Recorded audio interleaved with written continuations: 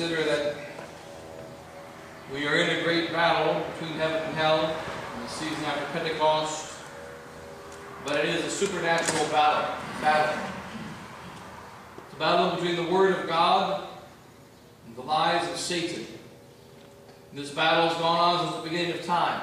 And every now and then, as we progress in this battle, now the church has been around for 2,000 years. During the course of these 2,000 years, there have been built cathedrals, there have been built dioceses, there have been built monasteries, there have been built many religious orders, there have been built Catholic armies, there are many Catholic bishops. We have more than 200 history of more than 200 Catholic popes. We have all a great history of so many men that have followed Jesus Christ. Some of them wicked, many of them wicked, but a great many saints. And as we see these great numbers, we are tempted by an age-old temptation. A temptation that goes back, that God himself spoke of when he spoke to Gideon.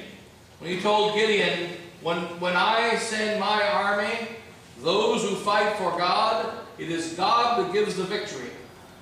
But the trouble is that for some reason, even though we know this is true, if I send you into battle with 10,000 soldiers, and you fight against 60,000 of the enemy, and you destroy them, you will think that you did it because of your strength. Therefore you had too many soldiers, and you finally fought with only 300. We find this also in all throughout sacred scripture and all throughout the history of the church. We know, our faith tells us, and we have the facts of history to back it up, God alone gives the victory. When the Jews destroyed the Egyptian army, it was destroyed by the hand of Aaron. God told Moses, and Moses told Aaron, Aaron, take my staff and hold it in the air. And Aaron took the staff of Moses and held it in the air, and the water was parted by the word of God spoken through Moses and by the hand of Aaron. And then they crossed through the Red Sea. And God said to Moses, walk through the Red Sea with that staff. And he got to the other side, and all 600,000 of the Jews passed through the other side, not including the women and children. God then spoke to Moses again. Moses then spoke to Aaron. Aaron, take my staff. And Aaron took the staff and held it in the air. And by the hand of Aaron, by the word of Moses, coming from the mouth of God, the sea went back and wiped out the entire army of the enemies of God. And by this great miracle of the Old Testament, God showed in a most clear way, He alone gives the victory. He alone conquers souls. He alone brings souls to God. He alone defeats Satan. And yet time and time again, throughout the history of the church in its Old Testament and also in the New Testament, so many souls will forget that. When we arrive at the gospel today, we're reminded again. Noah, or rather Peter, was a good fisherman, though the only times we have recorded of his fishing is when he failed, catching no fish the night that he met Christ today, catching no fish again at the end of his life. But he was a fisherman. He knew how to fish.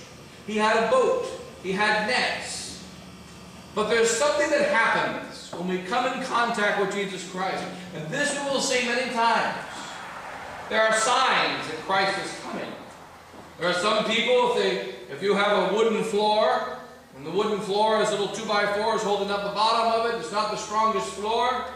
If a little light person comes to see you, you may not know. But if a giant weighing 400 pounds comes, there'll be a rumbling of the boards. There'll be an earthquake.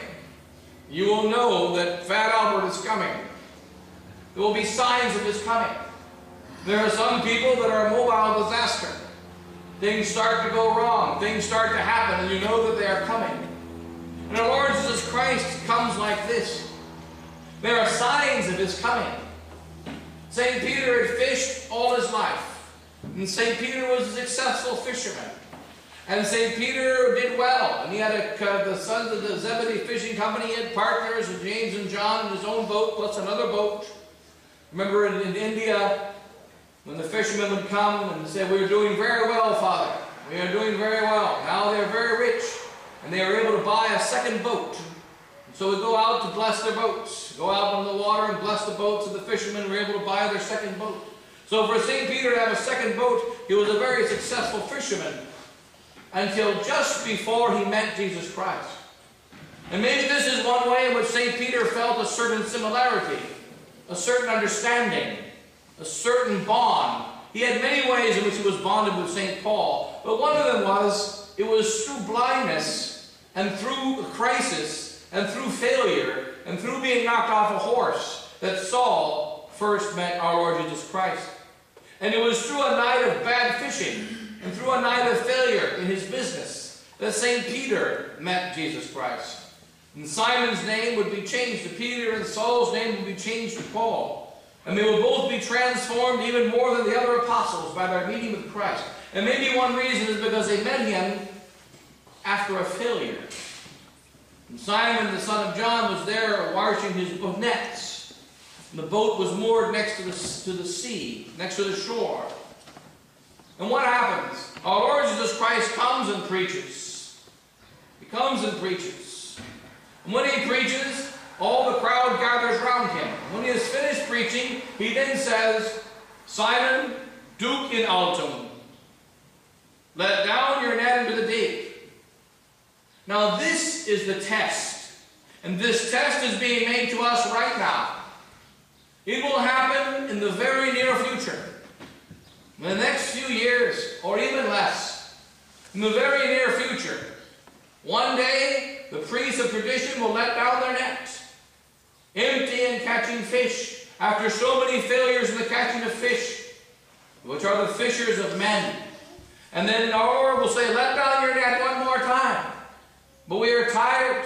We've been letting down our net and letting down our net and letting down our net, and it's nothing but failure. We're just pulling up worms and we're pulling up uh, uh, sea moss. We're not pulling up any fish. Let down your net. And St. Peter, or Simon, before he became St. Peter, he was not yet a saint. You can have, you can feel the frustration or the doubt to a certain extent in his voice. We have labored all night and caught nothing. We've let down the net many times last night, it's not funny. And we caught nothing.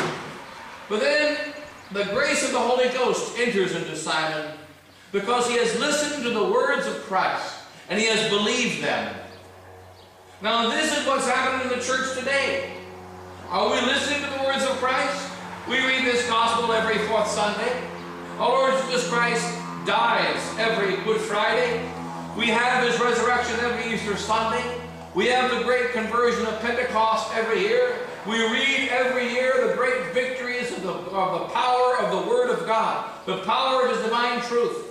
We know the saints that we read about throughout the calendar year, and all the great saints that we celebrate who will overcome great adversity simply because they believed with their hearts and with their minds and with their whole being in the Word of God.